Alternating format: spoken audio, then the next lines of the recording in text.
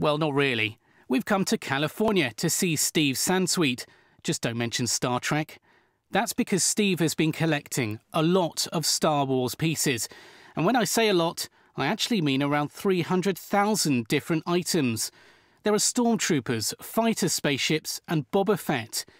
Steve has now found himself in the Guinness World Records book under the watchful glare of Darth Vader. No relation. I got interested in Star Wars as a result of loving science fiction growing up. I read all of the classic science fiction novels, saw the cheesy movies and television shows, and then there wasn't very much science fiction in the media. But then Star Wars came out.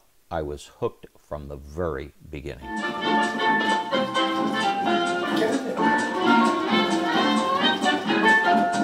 The George Lucas lookalike even knows how to talk to R2. Nearly 70,000 items have been audited and catalogued, which is a figure big enough to beat the previous record itself. Not even the Emperor will be able to top that.